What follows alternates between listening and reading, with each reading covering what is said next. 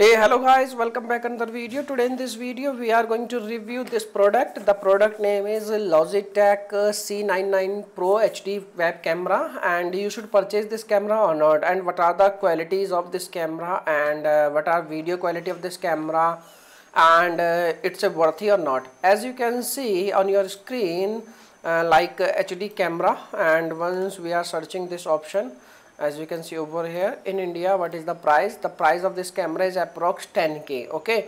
And with this camera you will get a tripod. Yes you will definitely get a tripod. The tripod is very small. Uh, like uh, there is a in this box you can see there is a tripod also. And the tripod size is approx like this. And uh, you can imagine the box size and the tripod size. The already tripod is inside from the box okay now come to the point you should uh, buy this product or not.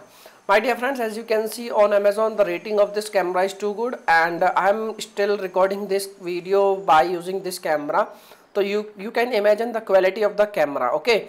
So this is the very honest and very small review. You can say it's a very good camera but as a price of point the price is little bit little bit high as you can see the price of this camera is 10k and uh, you can get definitely uh, say 1080p at 30 fps recording.